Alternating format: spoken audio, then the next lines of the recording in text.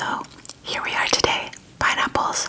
Um, I guess Bloves started this pineapple combination, so it will be interesting to see what it tastes like. Recipe for this will be in the link down below. Yeah, let's dig in. To drink, I have some Pomelo sparkling water.